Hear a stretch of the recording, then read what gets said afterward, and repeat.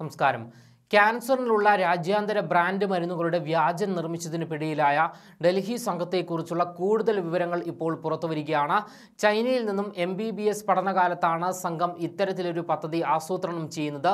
മരുന്ന് നിർമ്മാണം യാഥാർത്ഥ്യമായ ശേഷം ഇന്ത്യയ്ക്ക് പുറമെ ചൈന ബംഗ്ലാദേശ് നേപ്പാൾ എന്നിവിടങ്ങളിലേക്ക് വലിയ തോതിൽ വ്യാജമരുന്ന് കയറ്റുമതി ചെയ്തു എന്ന് കണ്ടെത്തി.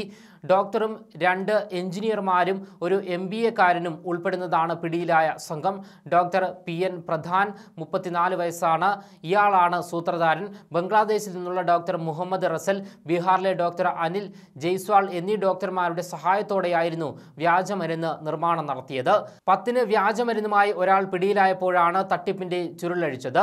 ഹരിയാനയിലെ സോനിപ്പത്തിലെ ഫാക്ടറിയിലായിരുന്നു നിർമ്മാണം. ഗസിയാബാദിലെ ഗോഡൌണിൽ സൂക്ഷിച്ചിരുന്ന എട്ട് കോടിയോളം വിലയുള്ള ഇരുപത് രാജ്യാന്തര ബ്രാൻഡുകളുടെ വ്യാജശേഖരം മരുന്ന് നിർമ്മാണ ഘടകങ്ങൾ നിർമ്മാണ സാമഗ്രികൾ പാക്കേജിംഗ് ഉപകരണങ്ങൾ എന്നിവ പിടിച്ചെടുക്കുകയും ചെയ്തു.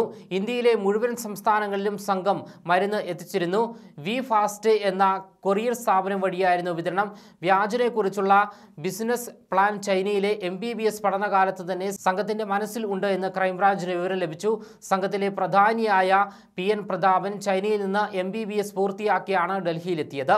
വലിയ വിദേശ മരുന്ന് കമ്പനികൾക്ക് ഇന്ത്യയിലെ വിതരണത്തിന് അവർ ഉൽപാദന അനുമതി നൽകിയ കമ്പനികളുണ്ടാകും. അവരെ മറികടന്ന് വ്യാജമരുന്ന് ഇറക്കാനായിരുന്നു പദ്ധതി.